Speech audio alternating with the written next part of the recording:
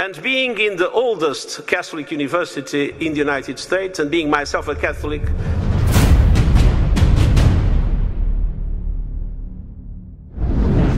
It is so decided.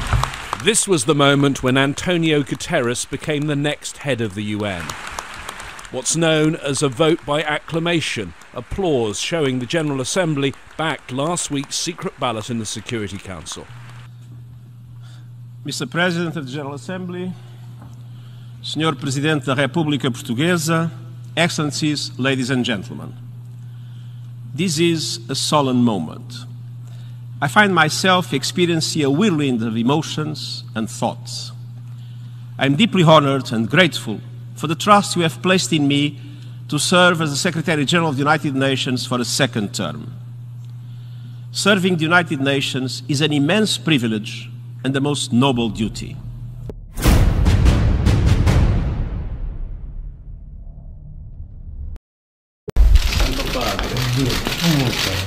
Piacere enorme, un onore enorme. In this affectionate way, the Pope and Antonio Guterres, the UN Secretary General, greeted each other. They spoke privately in Spanish for a few minutes. Guterres traveled to Rome to discuss with Pope Francis issues like the environmental crisis, poverty and inequality, multilateralism, the protection of refugees and migrants, human trafficking, wars, and nuclear disarmament. After came an exchange of gifts. Pope Francis gave the UN Secretary General an engraving, which he politely showed reporters. The Pope also gave him a copy of his message of peace for the year 2020, as well as the Abu Dhabi document on human fraternity, which Guterres really appreciated. It was a very cordial encounter, showing the great connection between the two leaders. Before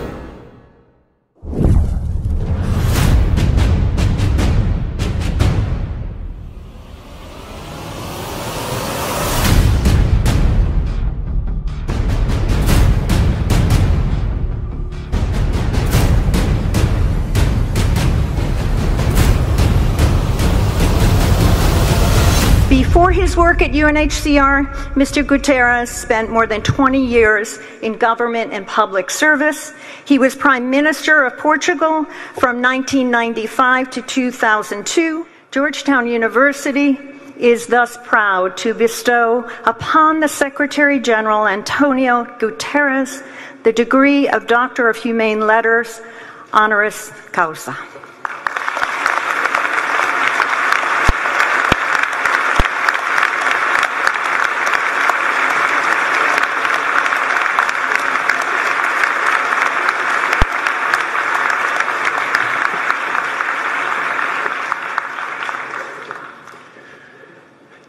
Virtue of the authority vested in me by the Congress of the United States and by the Board of Directors of Georgetown University, I officially confer upon Secretary General Antonio Guterres the degree of Doctor of Humane Letters, honoris causa. It's now my pleasure to present Dr. Antonio Guterres, who will offer the commencement address.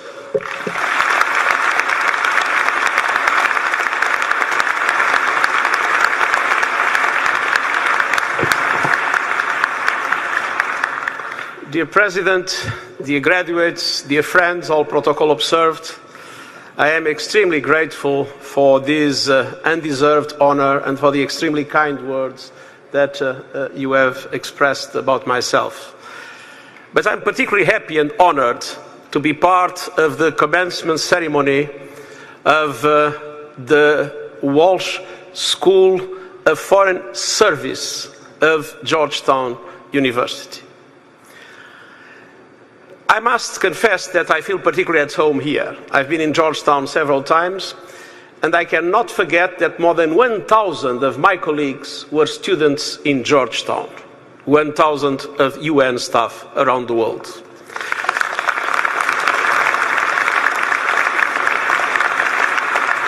This, not to mention that four of the UN ambassadors in the United Nations were or are still linked to Georgetown, and namely my very good friend Madeleine Albright.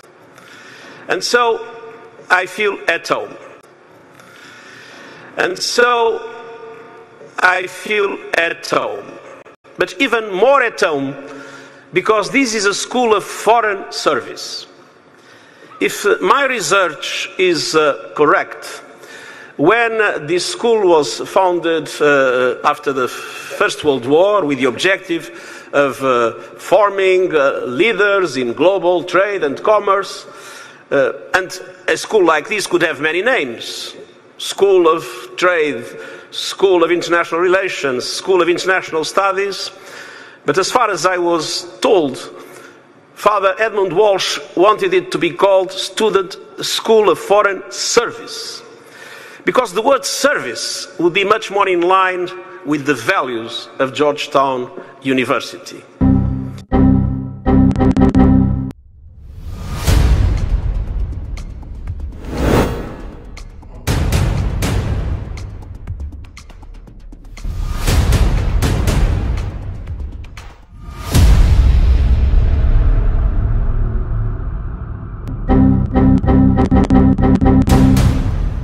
Sisters and brothers, most especially descendants who have traveled so far to be with us. Today, the Society of Jesus, who helped to establish Georgetown University and whose leaders enslaved and mercilessly sold your ancestors stands before you to say that we have greatly sinned in our thoughts and in our words, in what we have done, and in what we have failed to do. We pray with you today because we have greatly sinned and because we are profoundly sorry. It is our very enslavement of another, our very ownership of another culminating in the tragic sale of 272 women, men, and children that remains with us to this day, trapping us in an historic truth for which we implore mercy and justice, hope and healing. We do not seek to move on with this apology, but to move forward with open hearts to respond to the urgent demands of justice still present in our time. The expression of contrition that we offer today guides, permeates, animates our ongoing work for justice. We build a more just world with honest reflection on our past and a commitment to a faith that does justice. The Jesuit may be individually honest unless the interest of his order obliges him to be otherwise. For there are no considerations of religion, honesty, or virtue which he does not feel himself bound peremptorily and at all times to sacrifice to this one supreme consideration. The end sanctifies the means, is his favorite maxim, and as his only end, as we have shown, is the order. At its bidding, the Jesuit is ready to commit any crime whatsoever. And this is something that makes me feel very proud to be here with you today. You have the chance to have studied in Georgetown. And very few people around the world have the chance to study in a university of this quality. So we are all tremendously privileged. And being in the oldest Catholic university in the United States and being myself a Catholic,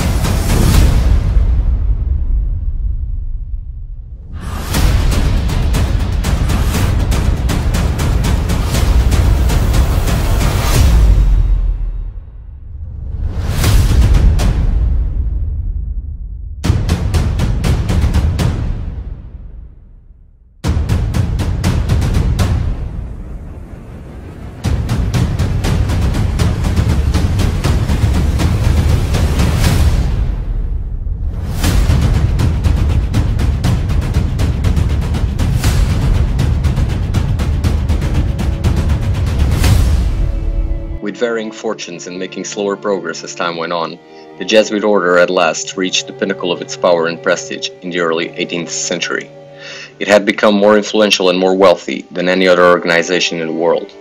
It held a position in world affairs that no oath-bound group of men has ever held before or since. The Jesuits were masters of the courts of almost all the Catholic kings and sovereigns, wrote Saint Simon in his memoirs, and Father Cordara, Society of Jesus, admitted that nearly all the kings and sovereigns of Europe had only Jesuits as directors of their consciences, so that the whole of Europe appeared to be governed by Jesuits only.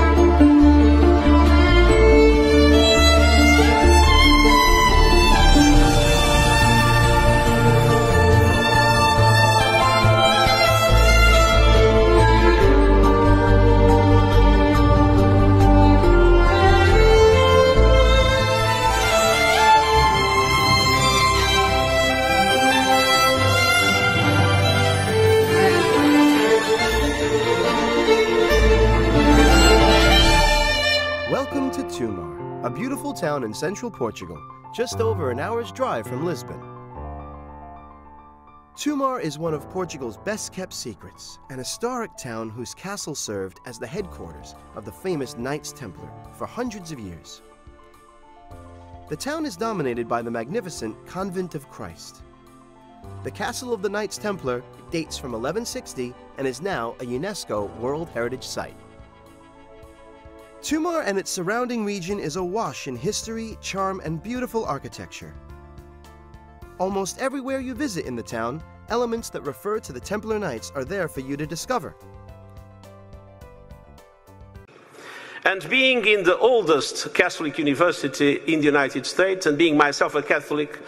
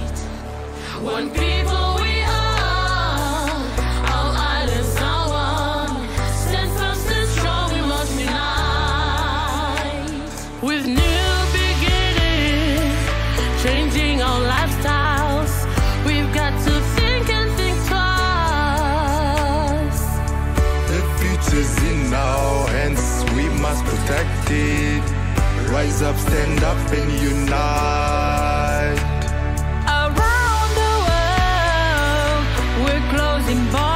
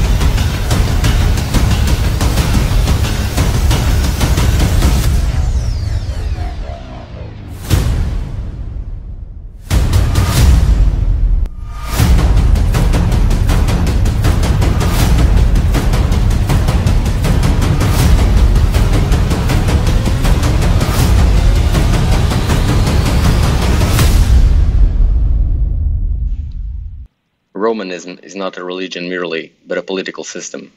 The constitution of the Church of Rome may be considered the most formidable combination that was ever formed against the authority and security of civil government, as well as against the liberty, reason, and happiness of mankind. Peace and prosperity are impossible under papal and priestly rule, as all history attests. The papacy, says Prince Bismarck, has ever been a political power which, with the greatest audacity and with the most momentous consequences, has interfered in the affairs of this world.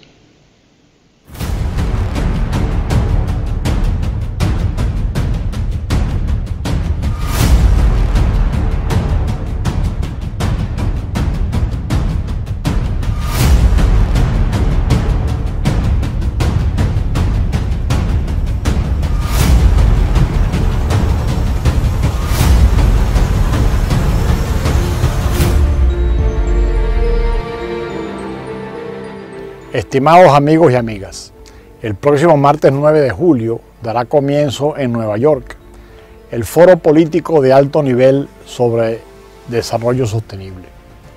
Es el mejor mecanismo creado por Naciones Unidas para dar seguimiento y evaluar los avances en el cumplimiento de los objetivos del desarrollo sostenible.